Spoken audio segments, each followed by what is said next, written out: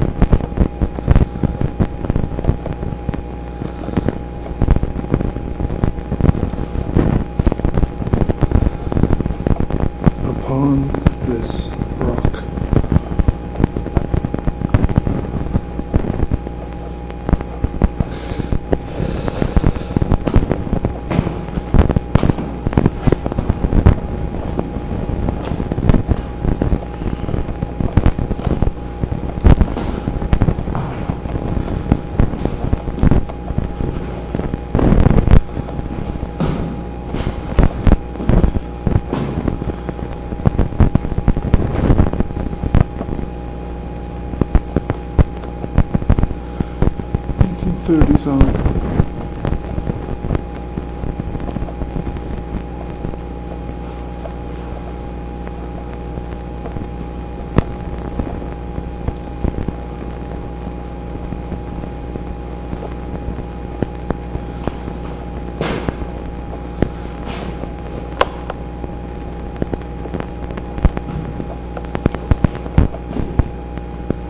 something up there.